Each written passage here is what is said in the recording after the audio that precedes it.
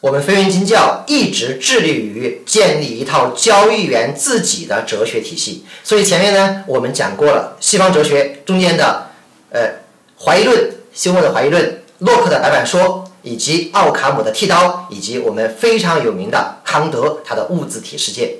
而今天呢，我们继续介绍两名二十世纪最伟大的哲学家，其中的一名啊，他就是海德格尔。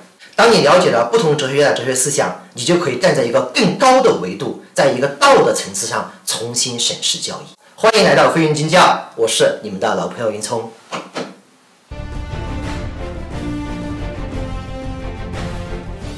这里一分钟插播一个硬广告。如果大家想系统的学习基本面、技术面、盘口、日内交易，大家可以登录飞云金教官方网站，这里面有全最全面、最系统、最完整、最详细的课程。而且今年我们还给大家构建飞云的哲学以及心理学体系，能够帮助大家不但解决技的层次，还要提高到道的层次。好的，感谢。好，我们来一起看一下。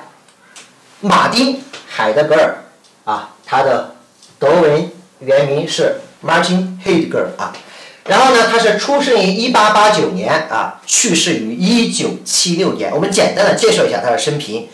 他这个出生的年，这一年非常有意思，为什么呢？这一年是尼采发疯的这一年，在尼采发疯的这一年啊，出生了两名划时代的这个思想家、哲学家，一个就是。哎，海德格尔，一个就是维特根斯坦，这两名哲学家是整个二十世纪最伟大的哲学家，没有人能够超过他们。好，我们来看一下，但是他们两个哲学家的生平，整个的故事完全不一样啊。我们一起这一期这两期我们讲海德格尔，后面呢我们就会讲维特根斯坦。好，我们再看一下，他呢是出生在德国，他的一个贫穷的农村，在农村那个时代，如果你要想改变命运。只能够去读教会学校啊，就是由教会资助的学校。所以呢，他教会资助了之后，那么他肯定将来立志就是要当牧师啊，这就是他的一个理想。所以他教会学校之后，他考上了，一九零九年考上了弗莱堡大学。他当时是学的神学。哎，所以人的这个命运，如果不会被一些突然性的情况改变的话啊，很多人就会像这样子。走一辈子啊，包括我们后面讲的维特根斯坦都是这样子的。当年他的命运被什么改变了呢？他的命运就被一战啊，第一次世界大战改变了。他一战参战之后啊，可能再回到弗莱堡大弗莱堡大学的时候，可能他的思想就发生了变化。这个时候他就改学了哲学，哎，正好又遇到当时非常有名的一个老师叫胡塞尔。胡塞尔呢，在哲学界被称为现象学之父啊，就现象学的创始人。所以跟对老师很重要啊。之后，在一九二七年，他写了最著名的《存在与时间》，就这一本书就奠定了他在哲学史上的地位。一九三三年啊，这个时候纳粹上台了，希特勒上台，他由教授最后被希特勒任命成校长，这个成了他人生的一个污点啊。但是也并没有证据表明啊，他就是怎么支持希特勒。总之呢，就说这个是他的人生一个污点。所以到一九四一九四六年啊，他和中国的一个渊源啊，一九四六年他翻译过中国的《道德经》，所以和我们中国文化还是有点渊源。就是因为他有这个污点之后啊，当纳粹德国啊最后被推翻之后啊，他基本上就完全的消失了。然后一直到一九五九年退休，一九七六年离世。也就是说，他的整个的人生就是啊在。写了《存在与时间》，达到了辉煌啊！之后由于有污点，整个人生就慢慢的消失了。但是呢，无论如何，他在哲学史上地位是非常重要的。好，这就是他简单生平。好，我们就不多说了。我们现在讲一讲哈，现在我们就开始讲一讲他到底为什么能够在哲学史上开宗立派。好，我们在讲之前啊，就说他这个人也是很有特色的，因为海德格尔这个人呐，他写的东西很有意思，他的东西。都是一种以诗意的语言，就是你看其他的哲学家，康德也好啊，或者是维特维特根斯坦也好啊，或者是我们以前的黑格尔也好，他们的东西都是逻辑严谨啊，但是比较枯燥，而且比较无聊。说实话，一般人根本看不进去。哎，他的东西也比较难懂，但是呢，他的句子读起来非常的有诗意，非常有意思。比如我随便找两句给大家读一下啊，你可能一个字都听不懂，但是觉得很有意思。比如。事件在上手状态中隐而不显，只在脱落中向此在而显现。你是不是觉得一个都听不懂啊，不知道说什么，但是听起来挺有意思的啊，没那么晦涩啊，没那么单调。人充满劳累，但诗意的栖居在大地上，啊，是吧？这个这个是被很多文艺青年引用的一个句子哈。人人诗意的栖居在大地上，啊，这个很多文艺青年最喜欢的一句话啊。所以它这些句子，整个书它存在于时间，整个书很有意思，它读起来有很多很多这种句子啊。好，这就是第一个诗意语言。第二个呢，他这个人的生活也比较有意思，因为他可能是从小跟着这个教教会学校的原因，他一辈子比较清贫。就说他虽然当教授，他也是住在他的乡下，就是这个大学乡下的一个山里面那个小木屋，那可不是别墅啊。大家可以看到啊，他这个山里面这个木屋很简单的一个小房子，就是拿砖瓦砌的一个小房子啊。他这个人看起来也是一个比较严谨的啊，他整个这一生基本上都是在一种安静、平静、孤独啊。中间度过的啊，但他孤独，他还是结婚的，只是说他的整个人的状态是一种这种状态。好，非常有意思啊，这个所以说你如果有了在有一个哲学你能够学通的话，你会发现大多数的人过得都是非常超然洒脱的啊。好，这边我们就快速的给大家简单的说一下，到底为什么呢？开创了一个时代。好，我们以前啊，不管你是我们说的这个呃。黑格尔也好啊，康德也好啊，还是再往前推啊，我们的苏格拉底也好，我们总是在看这个世界它是个什么样子，是吧？我在这儿，是吧？我们在这儿，然后这个世界，哎，它是真实的还是虚幻的？有人说是真实的，有人说虚幻的，有人说是物质的啊。然后呢，这个海德格尔就说啊，在我之前，整个的哲学史就是存在的遗忘史。就说你们总是在研究具体的物啊，具体的这个精神领域或者是我，但是你们从来没有研究过存在。存在这事儿本身就特别有趣，就是我们为什么会存在？这个世界为什么会存在？存在为什么会存在？啊，所以他就从这个地方开始专门研究存在。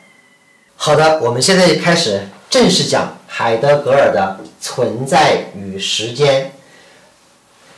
我这边的讲解是根据我阅读了大量的海德格尔的书籍，以及大量的一些教授、专家他们对海德格尔的讲解，在我自己的理解的基础上形成的啊，其实不存在于正确与不正确，主要是看能不能给你一定的思维启发。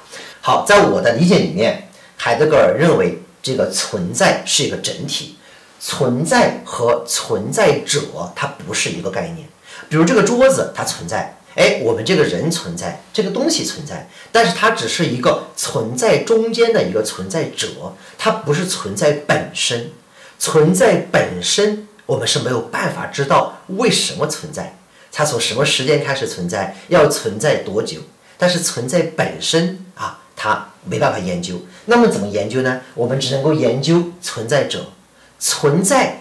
它是在存在者的显现的情况下存在啊。好，我们进一步划定存在者。存在者里面有很多东西啊，比如说一个事情存在，一个桌子存在，我们这个白板存在。存在者里面有一个很不一样的存在是什么？就是我们人啊。所以他要把存在者里面化成一个叫此在。这个此在实际上它指的就是人。但他不想用人来说明，为什么呢？有可能我们这个人还是，就是你怎么知道？就比如说我们其他的一些动物，它没有思维啊，你怎么知道有没有更高级智慧的东西在我们之间呢？所以说你不能说就把人限定死了，就是我们只能说此在，就是此时此刻在这个地方的一个人。那比如说我，哎，云聪，此时此刻我在这个地方，那么我就是一个此在。好，这个。这几个概念啊，大家先先先想一想啊，很有意思。反正你如果说人话说的简单一点，是人。好，人这个东西，好人这个东西呢，他又提出来一个非常有意思的概念。人你此在出现之后，那么你要打交道是吧？你要和周围发生关系。那么和谁发和和谁发生关系呢？第一个就是物，就是物体啊，就是物体。那么和物体发生关系的时候，他认为一般的有两种状态。一种叫上手状态，一种叫有待上手状态。上手状态什么意思呢？就是你感觉不到它的存在。那比如说我们穿了衣服，那你有没有随时随地感觉到有个衣服的存在啊？没有。比如说我现在近视，我戴个眼镜儿，但是是不是你经常就感觉不到你还有眼镜的东西存在啊？还有像包，我们中国的古语叫那个庖丁解牛，当他把这个技术用得非常熟练的时候，他已经完完全全感觉不到它的存在了。还有就是开车，特别是手动挡啊，如果学过手动挡的朋友都知道，开始的时候特别特别难，但是到最后你越开越顺，最后换挡，哎哎踩离合，你没有任何的感觉，就是你已经感觉不到它的存在。这个就叫上手状态。那么，如果你明确的感觉到它的存在，那比如说我眼镜碎了，哎，我一下子看不见了，那么我就感觉到我就有待上手状态啊。这两种状态很有意思，就是和物打交道的这种状态。那么，你你这个此在就是我们的人啊，这个此在就是我们的人啊。你除了和物打交道，你还要和其他的此在打交道，就是人和人打交道。人和人打交道，哎，这个时候很有意思啊，这个时候非常有意思。他提出的观点，这个观点我非常喜欢。这个观点叫什么呢？叫做抛，叫做抛，抛就是抛弃的抛，就是 哎丢出去的一个抛。你这个人呐，我们出生在这个世界上，我们是不是自己选择的呀？我们选择在一个穷的家里，一个富的家里啊。我们古代、现代不是我们自己选择的啊。当然有一种那个。灵魂观啊，什么灵魂转世说啊，说你是自己选的，这个我们就先不说啊。总之，抛开其他的不论，大我们从我们的科学的证明，人不是自己选的，不是我们想来这个世界，所以我们是被抛进来的啊，这是一个抛的状态。然后你看哈，你每一个人每一个此在和其他此在与物之间，你会形成一个层层的关系，这个关系啊。我云聪，我把它定位一个蜘蛛网结构的关系。这个书里面没有，还是我自己发明的啊？就是我也不知道其他的书有没有啊，反正我自己想到的。蜘蛛网般的关系什么意思呢？你，你是这个蜘蛛网上的一个点，是不是？你在这一点上，这个蜘蛛网上，那么这个网是个什么网呢？是一个时间的网，是一个空间的网，是一个意识的网。你这个网上，你是必须和别人打交道的。你出生的时候，你父母就会教你这么做，你的文化会教你这么做。比如咱们中国传统五千年，仁义礼智孝，是吧？这些东西就会灌输给你。然后呢？然后你的文化会告诉你很多东西，你出现的地方它的饮食啊，比如说那个北方吃牛羊肉比较多，那比如说你在四川你就要吃辣，你比如广东你要吃清淡，你要喝凉茶，这些文化就会就像一个网一样把你缠绕住，你是很难挣脱这个网的，你这一辈子都会有这个网的这个迹象，所以呢，你被抛的时候，你实际上被抛在一个时间和空间。和阶层的这么一个蜘蛛网结构上面的一点上面啊，这个是我说的啊，这个这个这个这个不是书上的啊，你们去看书没有的。好，那么我就想把这个抛把它引入，就是给大家讲的更详细。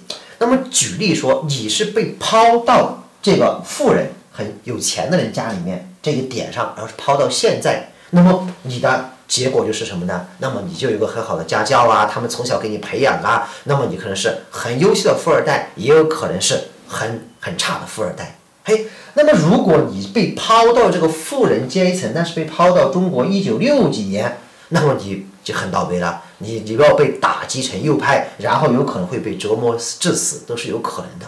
所以说，这个时间点，这个空间点，你是没有办法解摆脱的。但是有一个东西可以穿越整个时间空间，把东西全部联系在一起。好，那它是什么呢？那么我们现在看海德格尔讲的另外两个概念。另外两个概念什么呢？第一个就是此在的交出。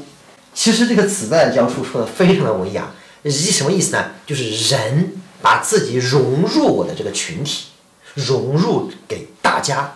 它里面这个大家的概念，这个大家实际上不是指的一个个的人，是指的你整个的社会的文化氛围，你的这个传统习惯，你和你周围打交道的所有东西，人和物这一套东西，这个大家其实我认为就是用蜘蛛网，蜘蛛网结构的文化习俗，人打交道更形象。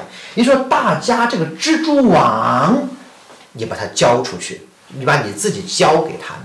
那么你教给他们的时候呢，你要干嘛？你会有好奇，你会有牵挂，你。会有闲谈，你会有操心，这些都是海德格尔的原话啊。就是说，海德格尔他虽然是个哲学家，他用大量的这种日常的生活语言、诗画般的语言，就是告诉你，你是一个凡人。当你是一个凡人，你要把自己交出去的时候，那么你要和大家融汇在一起的时候，你就有这些事情，是吗？操劳、好事啊，这种搬弄是非呀，各种各样的东西。好，但是问题是，当你把此在，就是我自己交出去之后，你就会成什么样子？就是一个沉沦。但这个沉沦不是贬义词，它这个沉沦是你把你自己完完全全融化在这个蜘蛛网上，而且又不逃离出去的这种状态，叫做沉沦。好，这是一个普通的人，他们就叫非本真状态。但是呢，你有一天，你突然感到自身的存在，然后你会独自面对虚无的可能性。哎，这个说起来，都听起来就是。比较绕也比较文雅，这什么意思呢？当你有一天你发现，我们说中国有个古语叫“温水煮青蛙”，就是一个青蛙呀，你在一个水里面不断的上升的时候，青蛙是感觉不到你这个温水的，因为你和大家已经融入一片了嘛。当你突然惊醒发现，哎，这个我这一辈子到底该干点什么？我是谁？我在哪里？我为什么存在？啊，当你忽然开始想这种哲学问题的时候。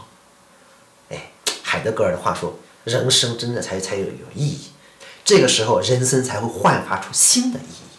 而这个新的意义，海德格尔很有意思，就是说你的这个就变成一个本真状态，你就产生了时间，产生了新的时间。为什么？当你在这个非本真状态、沉沦状态的时候，实际上你是没有时间的。有些时候真的，大家想一想，这个话说的太好了。”你们是不是假设你是一个公务员，在一个普通的单位，每天在那边浑浑噩噩沉沦的时候，可能一晃时间就过去了。过去了之后，你不知道你自己干了啥，是吧？我你回去想，天哪，我这二十年这时间干的啥呀？你啥都没干，感觉到。那么只有当你忽然顿悟，就是你产生畏的情绪啊，这个畏的情绪，你感觉到了自身的存在，然后独自面对这种虚无的可能性。啊，我们后面讲什么是这个虚无的可能性，然后用他的话说，是把此在逼回了自身，寻找到自己的本真状态的时候，时间在你这个节点上就产生了一个你的一个时间。这个话真的是非常非常好。我们再来想一下，也就是说，当你浑浑噩噩过日子的时候，时间对你是没有意义的啊。好，然后当你忽然惊醒，下定决心。用他的说，良知决心来去做一件事情的时候啊，去改变你这种沉沦的状态的时候，你的新的时间就产生了。好，我们现在来说，那么如何改变这种状态呢？海德格尔他自己的观点就是向死而生，就是向，其实它的原话是向死而在，面向死亡的存在。好，我们下一期再讲。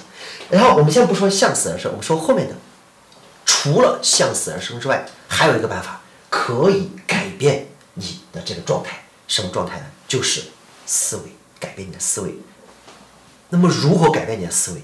就是要靠两个办法，一个是读书，一个是空间位置的改变。啊，什么意思呢？大家想，你是被抛到这个时间节点，被抛到这个阶层的空间节点。你要从一个地方改变这个地方，你已经被这个蜘蛛网套住了，你已经被这个蜘蛛网变成一个沉沦状态了。那么你要改变这个方法，就只有改变你的思维。当你的思维改变之后，你的这个思维可以贯穿整个的古今，它是四维度的。你的思想它是四维的，它不是三维的。那么这个时候，你才有可能从一个蜘蛛网跳到另一个蜘蛛网，从一个阶层跳到另一个阶层上去。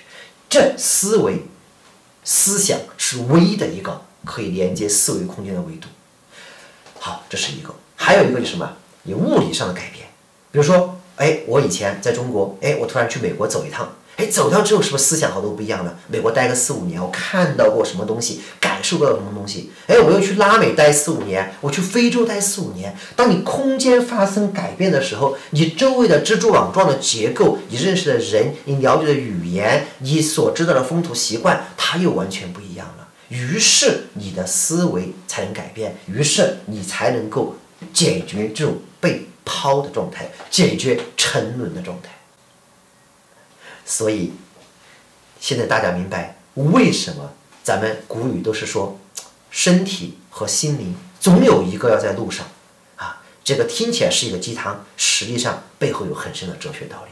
只有你的身体在路上，你才能改变这种结构；你的心灵你的思维不停的思考，不停的跳出这种沉沦状态，你才能改变你的环境。好，非常感谢这一集啊，我们就讲到这儿。然后下一集我们继续讲海德格尔，我们继续讲他的向死而生。